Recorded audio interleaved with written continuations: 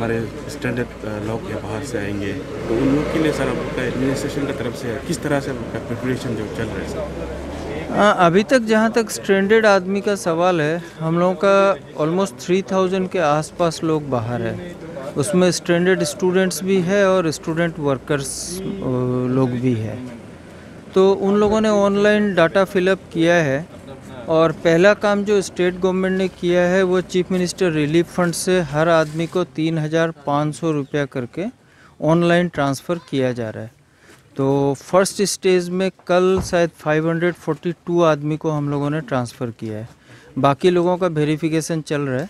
तो ये verification complete होते ही विद इन ए वीक वो तीन हज़ार पाँच सौ रुपया करके उन लोगों को मिल जाएगा।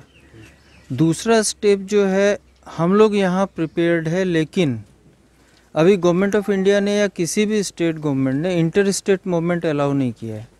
तो इंटर स्टेट मूवमेंट जब तक नहीं होगा, तब तक ये माइग्रेंट स्टूडेंट्स या माइग्रेंट स्टूडेंट वर्कर्स वो हम लोगों का डिस्ट्रिक्ट में आ नहीं पाएगा।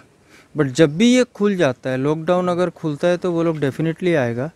तो जब भी वो लोग आएगा, उन लोगों को आने से ये कंपलसरी होगा कि हम लोग उनका ट्रेवल हिस्ट्री लेगा, उनको यहाँ स्क्रीनिंग करेगा हर गेट पे।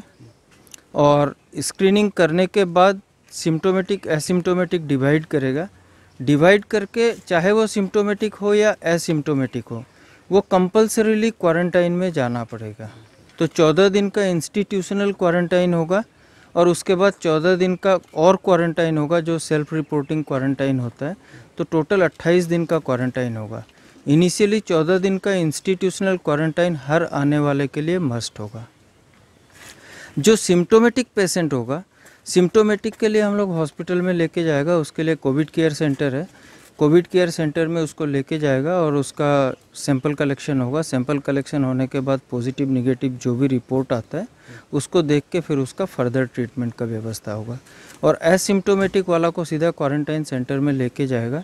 वहाँ रखेगा। वहाँ अगर कोई सिम्टम डेवलप करता है तो उसके लिए भी वही प्रोसेस होगा। कोविड केयर सेंटर में लेके आएगा और कोविड केयर सेंटर से फिर उसका ट्रीटमेंट होगा। और सर जो इंटर डिस्ट्रिक्ट का जो स्टैंडर्ड स्टूडेंट जो आएँगे तो उसको तो सर आप होम क्वारंटाइन में रखेंगे या फैसिलिटी सेंटर में? फैसिलिटी में रहना मस्ट है।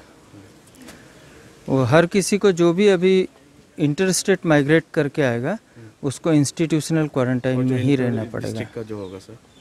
विद इन द डिस्ट्रिक्ट का मूवमेंट स्टेट गवर्नमेंट ने कुछ अलाउ किया है। ईटानगर से कुछ लोग हम लोगों का आ रहे हैं। उनके लिए ईटानगर से ई पास दिया है।